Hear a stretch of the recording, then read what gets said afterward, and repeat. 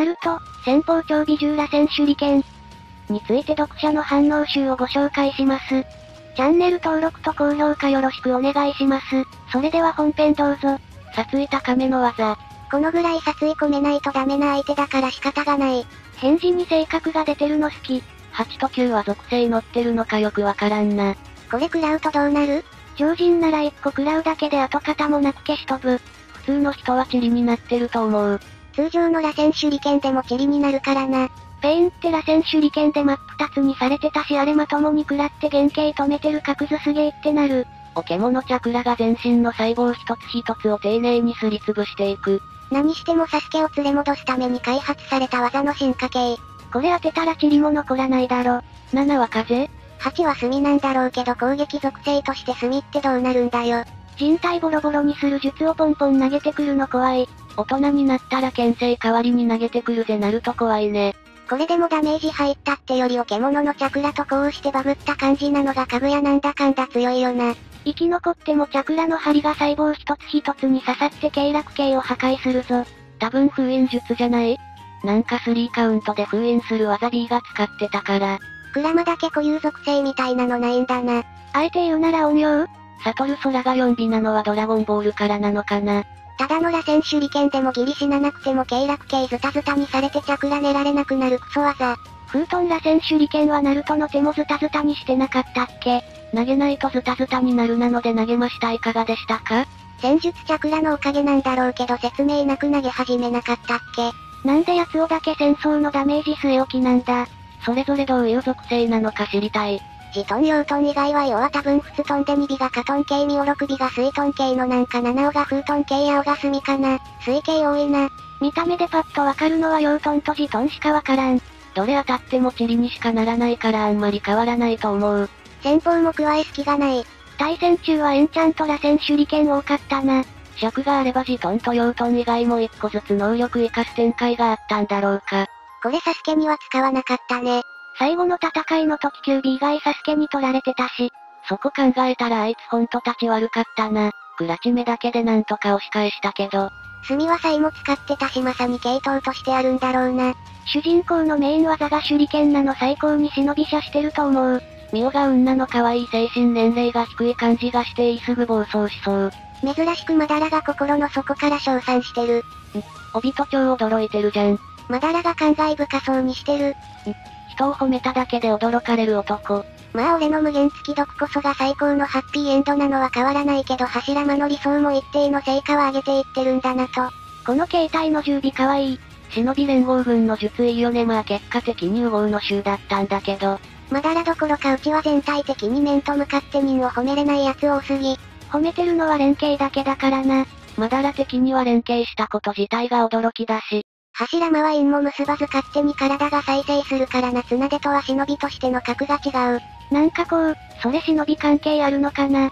めっちゃ声出して驚いてる帯とにじわじわ来る。まだらももともとは平和を望んでいた忍びだったからな。はっちゃけただけで。なんなら無限付き毒も平和のためだし、無限付き毒が本当に真の平和と呼べるならまでの下道も必要な犠牲と余興と割り切ってもいいくらいの異様だからないや俺は良くないと思うけど。アニシャはキモいのだ。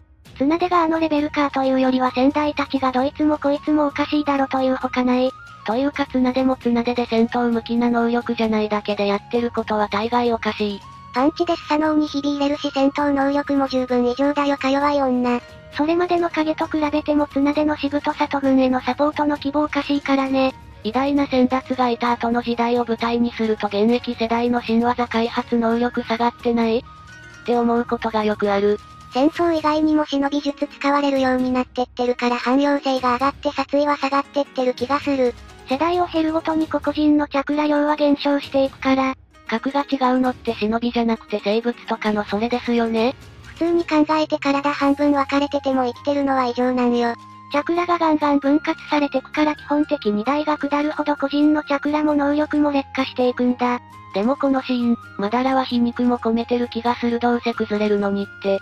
結果じゃなく過程を評価してるから、忍び火たちバラバラに争ってた時代に生きてた人間からすれば全ての忍び火が協力する光景は純粋に驚くと思う。ボルトではなくなるとの枠で未だに定期的に半券へグッズが出るのすごいコンテンツだと思うかかしその腹見せはなんだ。その服にその面はひたすらダサいぞ人。今更とはいえネタバレすぎる。暁の人選はどうなんだ？ひじきおじさんは？チャイナで外反いないのはまんますぎるからなのか似合いそうなのに。サスケー、うさんくささとセクシーさが共存しててすごいいいぞサスケー。ナルトの横サスケー？その肩出してるのとサングラス何被弾サソリデイダラは何なの？髪長いんだなイタチ。サソリと被弾がかっこいい。男連中割とかっこいいのにサスケだけなんか。被弾ちゃんは珍しいなはぶられたきサメさんとひじきかわいそう。まあイケメンではないからな。さくらちゃんは一部の時の衣装がチャイナみたいだしお団子似合いすぎる髪型だよね。暁からいつものみ人に加えてかかしに対応して帯と入れてを一人誰にするかっていうとまあ被弾ちゃんか。女性陣がまっとうに美人で言うことがないのも欲しい欲を言えばサラダが欲しい。第七班に並ぶと日向浮くな。女性向けのグッズでも割とノルマのようにいるさくらちゃんと日向様ありがたいですよね。さくらちゃんは別に第七班枠で普通にいるし日向はいないこともあるよ。被弾は見た目がかっこいいから女性人気が割とある。日向が木橋のと同じ班なのをよく忘れそうになる人は多い。富士見コンビも確実に刺さるそうあるよね。ナルトは冒険せずにまとまってて一番よく見えるな。妻グッズと思うとこうなんか、すごいな。暁ってもしかしてアイドルグループなのでは？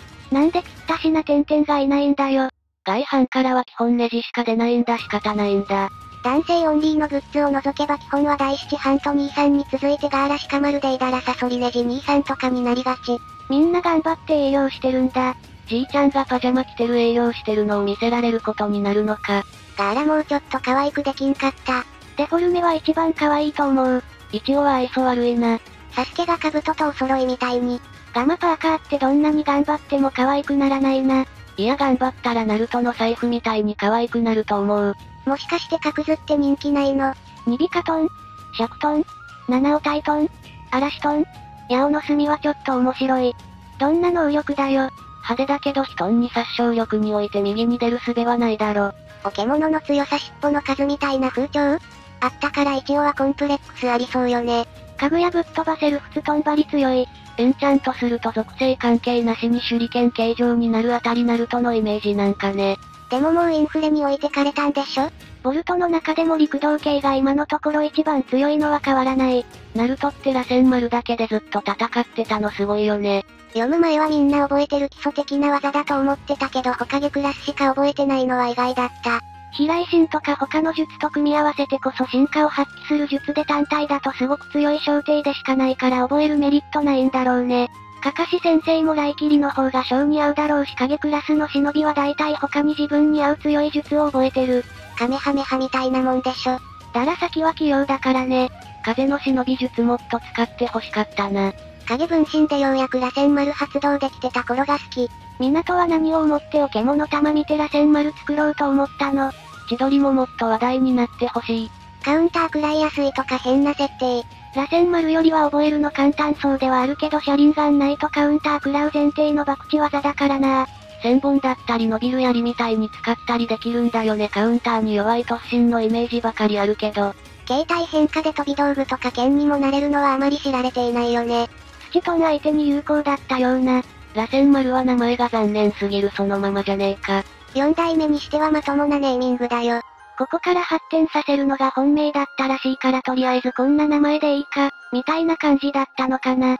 風属性だから食らうとチャクラの経路がズタズタにされて回復できないみたいな設定もあった気がするが螺旋手裏剣の方だったかな。ナルト側の負担もでかいのだ。実際角図戦で使った時経絡系剥がれかけてたし飛ばせるようになってよかったわ。仙人モードで体を直しながらなら OK になったな。あれって直接当てに行かなければリスクなくなるのかと思ってた。貯水タンクの穴好き。雷影の全身千鳥のバチバチモードって結構合理的な気がする。後から読み返すと千鳥が中途半端にしか刺さらないのやばいよね大抵の物理攻撃とか弾き飛ばされて終わりだろ。フンヌの恐怖ってなんか変な言葉。掲載当時から変な言い回しって言われてる気もするが多分わしがフンヌした時の恐怖を教えてやるってことなんだろうきっと。お獣シリーズの螺旋丸いいよね。クソタヌキのは磁力で引き寄せて封印するとかすごく便利だった記憶。これ好き。唐突に器用なことできるようになったな。先方超大玉らセンタレン丸のゴリ押し技が極まったネーミング好き。クラマかわいそう。花火感あるな。この技ももっと使って欲しかったら、キュービチャクラで敵を捕まえて螺旋丸に当てるってオーバーキルすぎない？白絶って扱いひどくない？こんなので他の大筒木と戦うつもりだったのは無茶すぎる。でも大筒木って基本的に体感巨峰主義ばっかしだから家具や自身の空間転移と数で押しまくる白絶ならなんとかなりそう。クラマ死んだナルトの実力ってどんなもんなんだろ車輪ガンなくなっただら先と同じかちょい強いくらいの強さじゃない。万華鏡もコピーも失ったカカシか。それでも超天才なんだけどなんか大したことねえなって思ってしまう。スノラセン丸は因がいらないから飛来神とか春味と合わせた奇襲が売りの術なのに影分身と二人がかりだと術の強みがほとんど意味をなしてない。クラチメなしでもチャクラ量4かかしだし戦術もあるからだら戦よりは強いんだろうとは思う。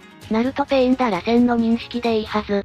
クラチメのナルトもまあ辛いがリンネがんなくなったサスケも辛くて親世代はちゃんとデフレしてるな。皆さんは、ナルト、先方超美獣螺旋手裏剣についてどう思いましたか？